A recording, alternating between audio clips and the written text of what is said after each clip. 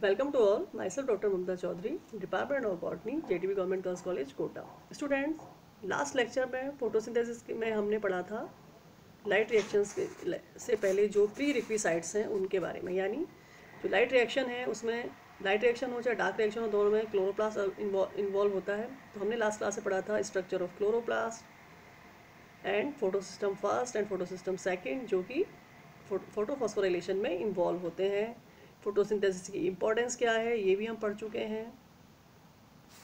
तो आगे हम पढ़ते हैं। फोटोसिंथेसिस का first step the light reaction light reactions और the photochemical phase include light absorption water splitting oxygen release and the formation of high energy chemical intermediate ATP and NADPH in photosystem first The reaction center chlorophyll A has an absorption peak at 700 nm, hence is called P700. While in photosystem second, it has absorption maxima at 680 nm and is called P680. तो light reaction क्या है एक photochemical reaction है जिसमें क्या होता है light absorption होती है वाटर स्प्लिट होता है यानी वाटर स्प्लिट होकर ऑक्सीजन बदलता है जिससे ऑक्सीजन रिलीज़ होती है और एनर्जी मॉलिक्यूल्स बनते हैं। कौन कौन से? A T P and N A T P H और इस इस, दौरान दो सिस्टम पिगमेंट सिस्टम इन्वॉल्व होते हैं। Photo pigment system one and pigment system second जो पिगमेंट सिस्टम वन है उसे पी सात सौ कहते हैं क्योंकि ये सात सौ एन एम की वेवलेंथ पे एक्साइट होता है। और जो पी सिक्स एट्टी है वो फ़ोटो सिस्टम सेकेंड है। और इस ये एब्जॉर्व करता है सिक्स एट्टी नैनोमीटर की लाइट को। Water is oxidized to oxygen by photosystem second. The chemical reaction by which water is oxidized is given by the following equation. H2O, 2H2O molecule. जैसा कि हमने पढ़ा कि स्पेशली लाइट रिएक्शन में ही water का splitting होता है तो दो वाटर के मॉलिक्यूल जो हैं उनसे एक ऑक्सीजन का मॉलिक्यूल बनेगा और चार हाइड्रोजन और चार इलेक्ट्रॉन्स निकलेंगे this equation indicates that four electrons are removed from two water molecules generating an oxygen molecule and four hydrogen ions. Robert Hill demonstrated that isolated chloroplasts evolved oxygen when they were illuminated in the presence of suitable electron acceptors such as ferricyanide. The ferricyanide is reduced to ferrocyanide by photolysis of water this reaction is now called as Hill reaction and it explains that water is used as a source of electrons for CO2 fixation and oxygen is, is evolved as a byproduct. तो सबसे पहले जो scientist थे हिल Robert हिल उन्होंने ही बताया कि water molecule जो है स्प्लिट होकर ऑक्सीजन बनाता है और इस दौरान जो इलेक्ट्रॉन्स निकलते हैं वो CO2 फिक्सेशन में काम आते हैं नाउ लाइट रिएक्शंस को जो है हम दो भागों में बांट सकते हैं। फ़ोटो फोटोफॉस्फोरिलेशन भी जिसको हम कहते हैं। इसी के दौरान फोटोफॉस्फोरिलेशन वो अभिक्रिया है जिसमें एटीपी और एनएडीपीएच मॉलिक्यूल्स बनते हैं। फोटोफॉस्फोरिलेशन जो है, उसमें दो, हमने भी लास्ट क्लास पढ़ा कि इसमें दो पिगमेंट सिस्टम इन्वॉल्व होते हैं pigment system one and pigment system second और इसमें सबसे पहले हम पढ़ेंगे फोटोफॉस्फोरिलेशन दो टाइप का होता है cyclic photophosphorylation and non cyclic photophosphorylation तो this picture show non cyclic photophosphorylation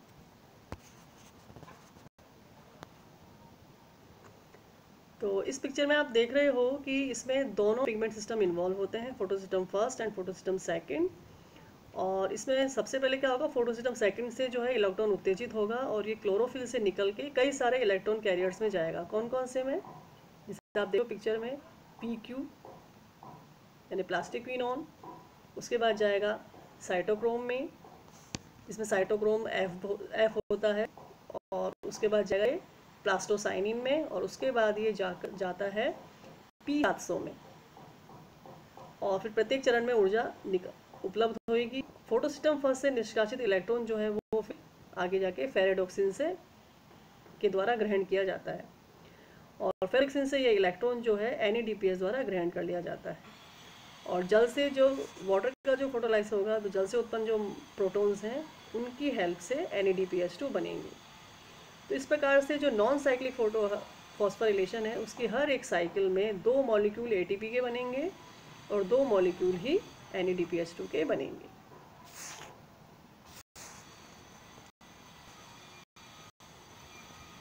तो जैसा कि हमने अभी पढ़ा नॉन साइक्लिक फोटोफॉस्फोरिलेशन तो इसके इंपॉर्टेंट पॉइंट्स हैं कि it involve two photo system P six eighty and P seven hundred N M this photo system contains chlorophyll A and chlorophyll B as well as accessory pigments flow of electron is non cyclic इसीलिए हम इसको non cyclic photophosphorylation कहते हैं।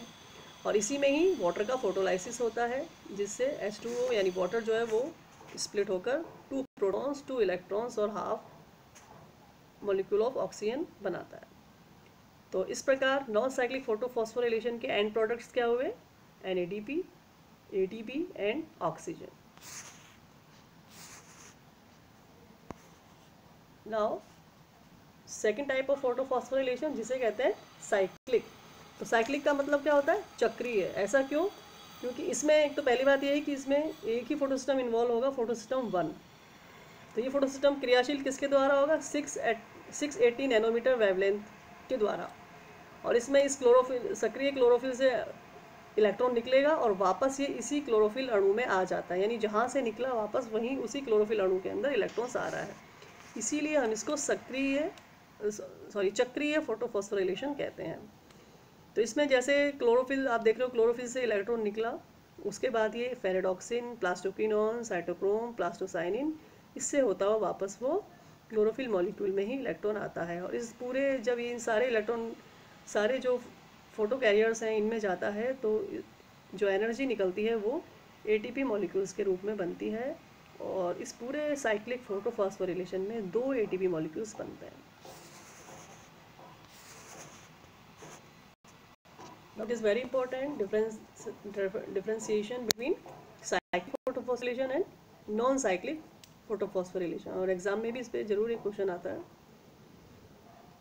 Cyclic photophosphorylation it function in a close circle electron free from chlorophyll to acceptor for return to chlorophyll N A D P H is now form and so assimilation of CO is retarded oxygen is not evolve bacteria have only this it is insensitive to dichlorophenyl dimethyl urea तो ये cyclic photophosphorylation की खास बात है कि एक तो ये क्लोज सर्कल के रूप में काम करता है मतलब इलेक्ट्रॉन क्लोरोफिल से निकलता है, वापस क्लोरोफिल में ही आ जाता है और इस प्रोसेस में जो है एन नहीं बनते हैं और ऑक्सीजन भी नहीं निकलेगी साइक्लिक के अंदर और बैक्टीरिया में स्पेशली साइक्लिक फोटोफॉस्फोरिलेशन ही पाया जाता है और दूसरा ये जो टॉक्सिक मटेरियल है डी सी एम यू इसके, इसका प्रभाव साइक्लिक फोटोफॉस्फोरिलेशन पे नहीं पड़ता है।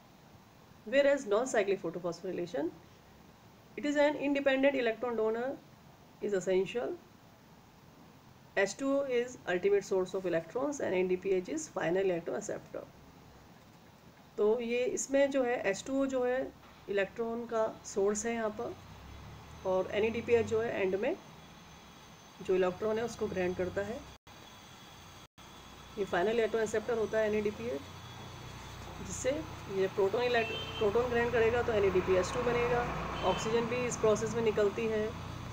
और ये जो नॉन साइक्लिक फोटोफॉस्फोरिलेशन है, सभी ग्रीन प्लांट्स में पाया जाता है।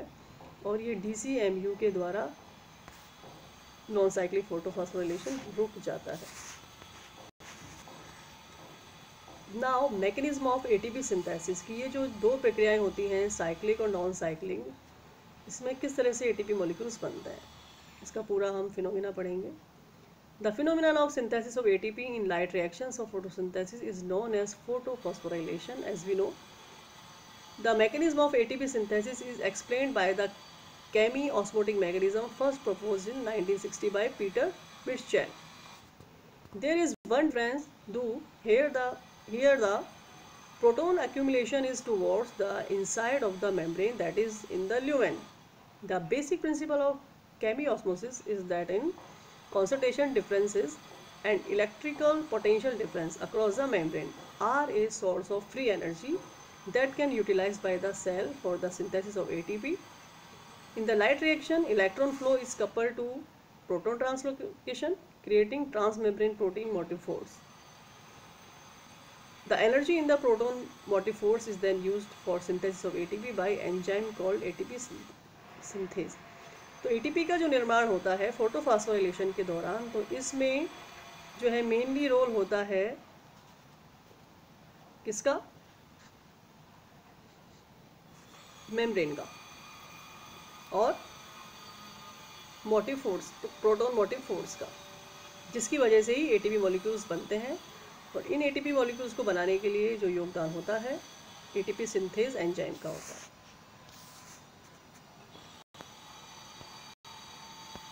Now, schematic presentation of light reaction.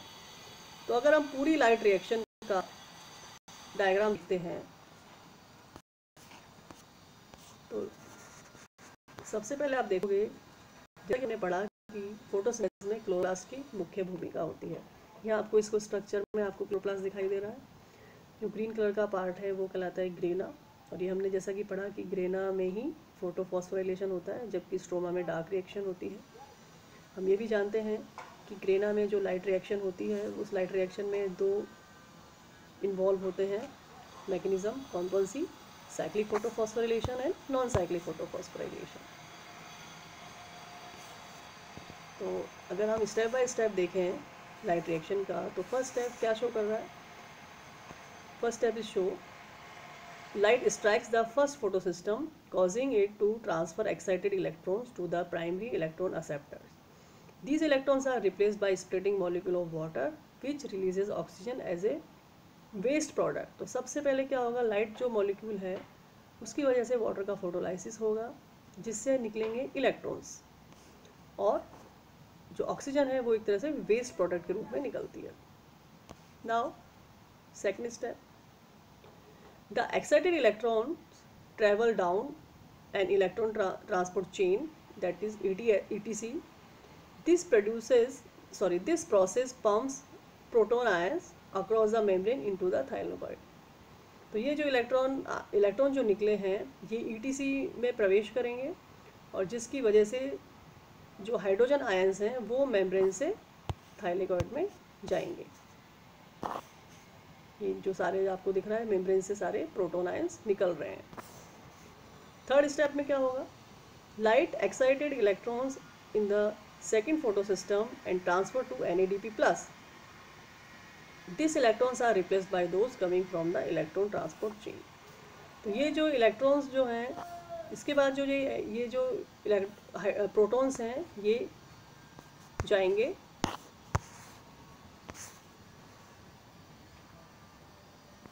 Etc से।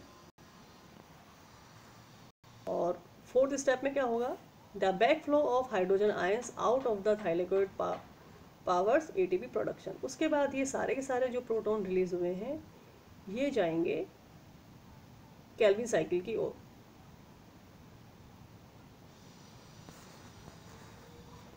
ये पूरा और इस इस दौरान कई सारे एटीपी मॉलिक्यूल्स भी बनते हैं। तो ये पूरा है स्कीमेटिक रिप्रेजेंटेशन या presentation of light reaction so तो स्टूडेंट्स हमने पढ़ा इस टॉपिक में कि फोटोसिंथेसिस की डेफिनेशन क्या है।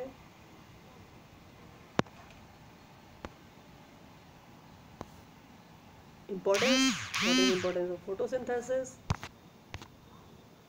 And types of phases of photosynthesis.